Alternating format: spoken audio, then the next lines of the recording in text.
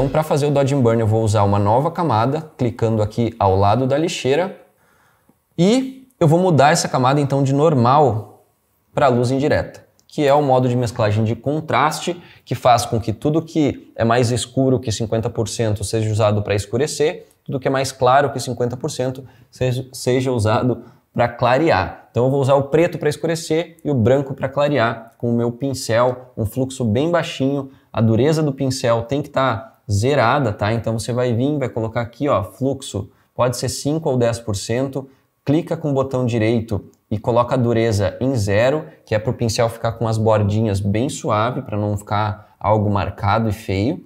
Encaixa o rosto inteiro na tela, não, vai, não aproxima muito, encaixa o rosto inteiro na tela com a ferramenta Zoom, pega a ferramenta pincel, usa um tamanho de acordo com o que você vai pintar. Então se eu vou pintar a testa, eu posso usar algo desse tamanho aqui, ó. Com a cor branca eu vou iluminar. Você vai iluminar as áreas mais salientes do rosto. Aqui embaixo da sobrancelha, legal. A maçã do rosto aqui. A olheirinha dá para aproveitar e clarear um pouco. Lembrando que a gente vai baixar um pouquinho da opacidade disso depois, tá? Aqui no queixo tem sempre um highlight, e aí você pode aproveitar também para tirar algumas sombrinhas, algumas manchinhas que não estão ficando legal. Aí você olha mais de longe, analisa o contexto geral. Vou pegar o preto agora, então vou fazer os contornos. Ó, vou escurecer aqui. E o preto, vou dar uma dica para vocês, tá? Geralmente a gente usa menos o preto, a gente escurece menos no Dodge Burn do que a gente clareia, tá? Ó, antes, depois. Olha como dá volume, como destaca o rosto, né? Muito bom. Eu vou baixar aqui para um 80% para ficar um pouquinho mais fraco.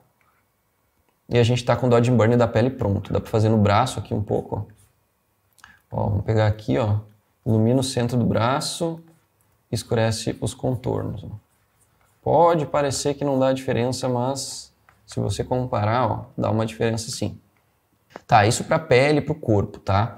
Depois a gente vai fazer o dodge burn dos detalhes. Eu até vou detalhar essa parte aqui, ó. Pele, luz indireta. Detalhes como cabelo, fundo, roupa, você vai usar o sobrepor. Então vamos lá. Nova camada, passa para sobrepor.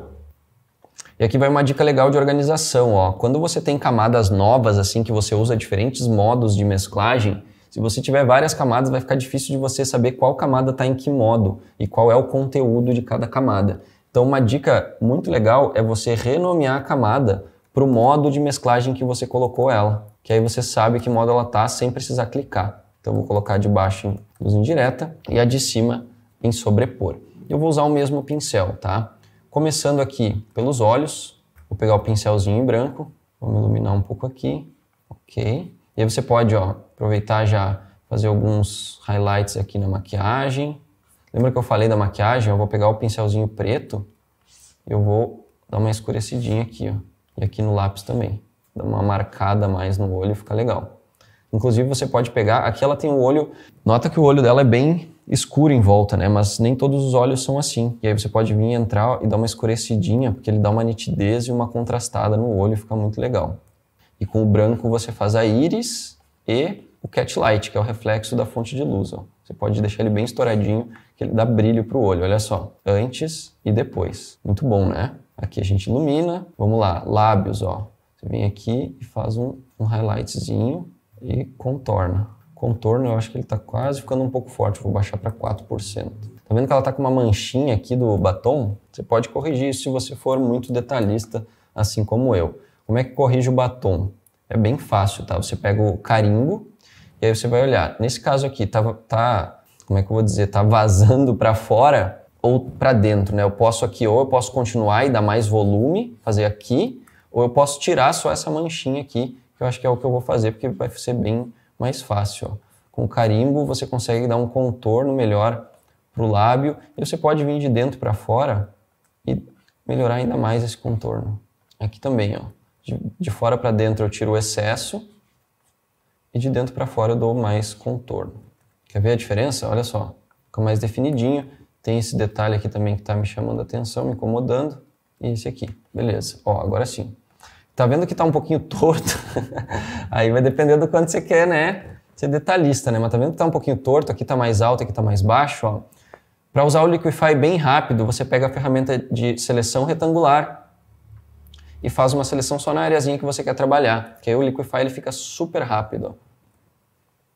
Qualquer computador funciona melhor com dessa forma, você selecionando. Eu vou dar só essa subidinha aqui, ó, e uma baixadinha aqui para equilibrar melhor isso, ó. Deu uma desentortadinha ali, tá vendo? Eu acho que o olho dela ficou um pouco forte demais, mas depois eu baixo a opacidade de tudo, tá? Próxima etapa, então, depois que eu fiz aqui nos olhos e na boca o Dodge Burn dos detalhes, eu vou iluminar um pouco esse cabelo aqui, essas, esses highlights do cabelo aqui estão bem legais. E esse mais pretinho aqui eu vou escurecer. Quando você está com essa camada é, de sobrepor ou até mesmo luz indireta, você não necessariamente precisa usar só o preto e branco. Eu uso o preto e branco com a finalidade de clarear e escurecer. Mas você pode usar também cores aqui para pintar a sua fotografia. E é isso que eu vou fazer agora, eu acho que vocês vão gostar, tá? Eu continuo na camada de sobrepor, que é a camada que eu criei aí para fazer o dodge and burn dos detalhes. Uh, e eu vou pegar uma cor do cenário agora que vai ter um tom mais amarelado, que é esse tom que eu quero trazer aqui, ó. Peguei um amarelinho, segura Alt e eu quero trazer esse amarelo aqui, ó. Estou pintando com 4% de fluxo, então pode demorar um pouco aí para dar efeito, tá? Trouxe bastante amarelo. E agora eu vou pegar aqui, ó, um verde mais musgo e eu vou escurecer um pouco esse fundo aqui, ó. Vou dar mais cor para ele. Vou padronizar um pouco esse verde. Olha só que beleza. Antes e depois. Olha como a foto ganhou agora um... Ela ganhou cores mais destacadas. Inclusive eu posso pegar um pouquinho desse amarelo e trazer um pouco para cima desse verde aqui, ó, que eu acho que pode combinar bem também. Beleza, e aí você vai pintando, aqui o negócio já vira arte, ó. Mas claro, eu vou baixar um pouco da opacidade para não ficar muito forte, pelo menos uns 80%, deixar isso mais suave, né? Muito bom.